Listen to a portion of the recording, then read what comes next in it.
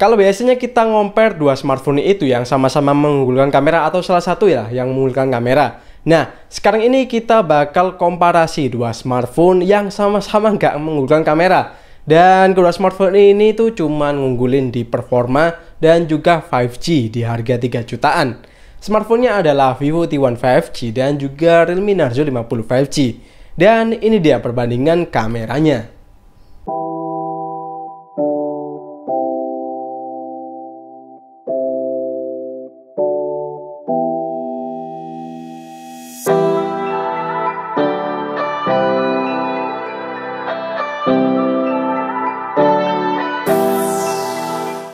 Sebelum masuk ke hasilnya, kita lihat dulu spesifikasi dan harganya. Buat chipsetnya, kedua smartphone ini sama-sama memakai chipset dari MediaTek Dimensity 810 5G. Dan untuk harganya juga mirip, mulai 2,999 juta untuk Vivo dan 3,099 juta untuk Realme.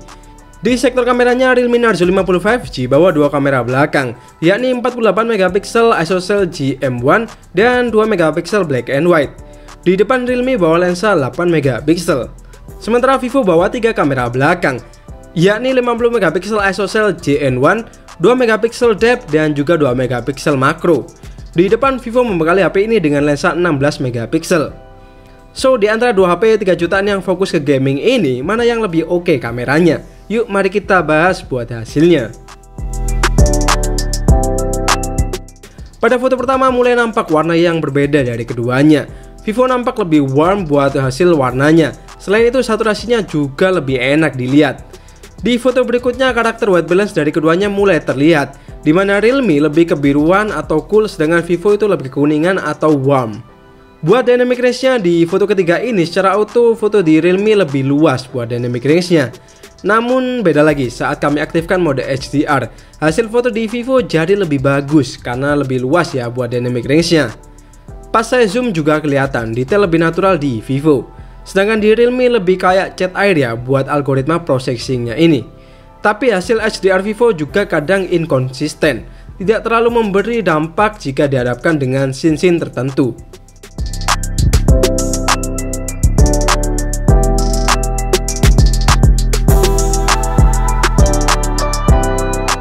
Karena nggak ada lensa ultra wide, kita langsung skip ke lensa portrait.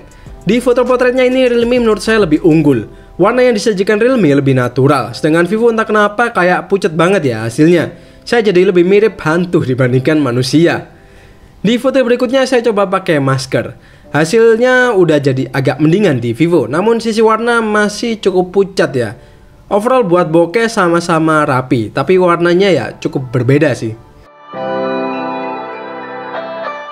Untuk foto makronya cukup disayangkan, Realme nggak punya lensa ini. Buat yang nggak peduli makro sih mungkin nggak masalah. Tapi kalau kalian cukup sering gunakan lensa makro, ini adalah sebuah kekurangan dan Vivo jelas lebih unggul daripada Realme. Buat hasil kamera depannya ternyata nggak seburuk apa yang ditangkap potret tadi ya. Hasil dari Vivo di sini warnanya lebih keluar dibandingkan Realme.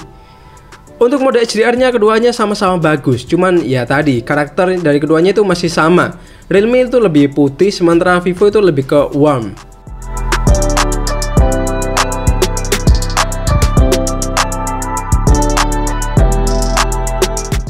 Masuk ke kondisi yang lebih gelap yakni malam hari. Foto pertama saya ambil secara auto dan karakter warmnya kembali terlihat di Vivo. Sementara Realme agak kurang keluar ya buat warnanya. Di foto kedua hasilnya juga masih mirip. Warna Vivo sedikit lebih tinggi saturasi daripada Realme. Soal white balance juga lebih akurat di Vivo. Untuk dynamic range-nya secara auto di kondisi indoor penjayaan cukup, kedua kameranya udah sama-sama bagus. Tapi kalau di zoom baru kelihatan kalau Realme sedikit lebih unggul buat dynamic range-nya ini.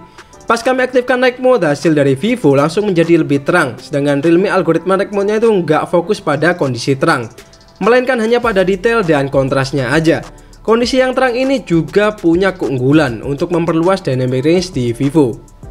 Pas saya zoom kembali di arah kopi, kelihatan bahwa Vivo lebih bisa ngasih detail daripada Realme. Hasil Realme justru agak lebih baik di mode auto tadi buat scene ini.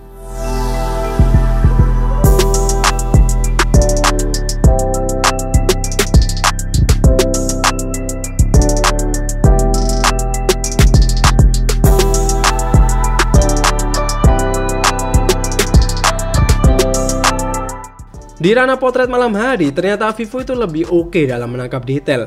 Karakter foto yang pucat di kondisi daylight ternyata nggak terlalu terlihat ya di kondisi malam hari. Skin tone-nya masih cukup oke okay buat malam hari, sementara foto Realme terlihat kurang detail, utamanya kalau di kondisi yang kurang cahaya.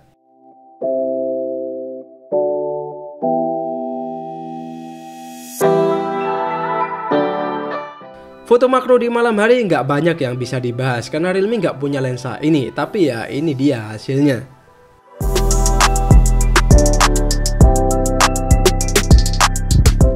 Sektor kamera depan saya lebih suka Vivo ya, meski secara angle nggak lebih luas dari Realme. Yang bikin saya suka adalah warna selfie Vivo ini lebih natural dan buat detailnya juga kelihatan lebih tajam.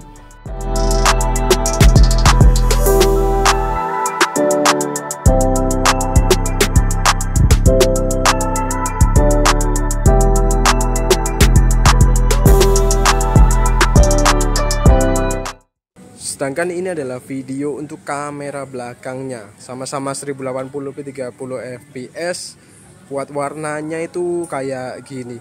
Dan kita akan coba gimana stabilisasinya ya. Ini saya jalan pelan-pelan aja. Keduanya ini kelihatan agak goyang ya. Tapi entah kalau nanti habis di video mungkin akan ada processing atau mungkin dia kayak gini hasilnya kayak yang saya ekspektasikan ini kayak gini buat frame rate nya dan detailnya udah kelihatan mungkin ya mana yang lebih detail warnanya gimana Halo guys, jadi ini adalah video kamera depan dari Vivo T1 dan juga Realme Narzo uh, 30 kalau nggak salah ya. Ya itulah. Kalau salah ya harap maklum ya. Karena banyak banget ini yang di compare. Jadi video kamera depannya ini bisa support resolusi 1080p dan kita akan coba buat jalan pelan-pelan. Kelihatan sih keduanya eh, nggak ada stabilizer ya. Cuman untuk skin tone kalau menurut kalian gimana?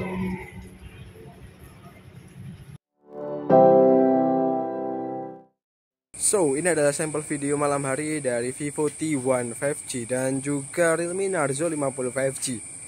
Kedua HP ini emang bukan khusus fotografi ya, tapi nggak ada salahnya buat tes kameranya. Hasilnya ya kira-kira kayak gini. Ini adalah kondisinya low lag dan sepertinya nggak ada stabilizer ya. Kita akan tes jalan pelan-pelan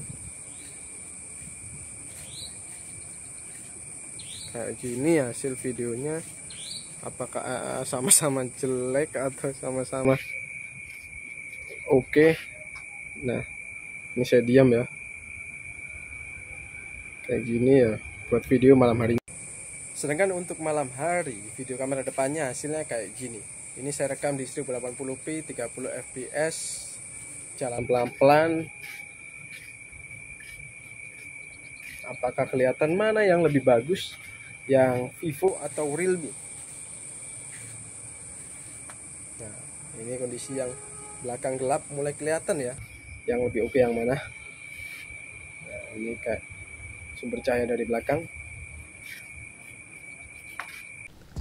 Masuk ke kesimpulan. Pertama videonya dulu. Keduanya sama-sama nggak punya AIS ya atau stabilisasi video sehingga kerasa banget getarannya. Buat detailnya saat daylight Vivo itu lebih oke, okay, tapi warna dari Realme sedikit lebih akurat. Pas low light Realme sedikit lebih baik buat detailnya, sementara video kamera depan overall saya lebih suka Vivo daripada Realme. Untuk fotonya selain potret menurut saya kameranya lebih banyak unggul di Vivo ya. Selain itu emang ada keunggulan lensa dan hasil yang ditangkap juga lebih keluar warnanya di Vivo. Menurut saya kalau kalian lagi bingung antara kedua kameranya ini saya lebih rekomendasiin ke Vivo sih. Meski hasil potretnya itu skin tone-nya agak kurang oke okay alias pucet, tapi masih bisa diakali dengan cara diedit. Kalau kalian sendiri gimana nih? Lebih suka Realme atau Vivo? Komen ya di bawah. Oke, segitu dulu aja video kali ini. Sofian di sini pamit dan kita bakal jumpa lagi di video selanjutnya.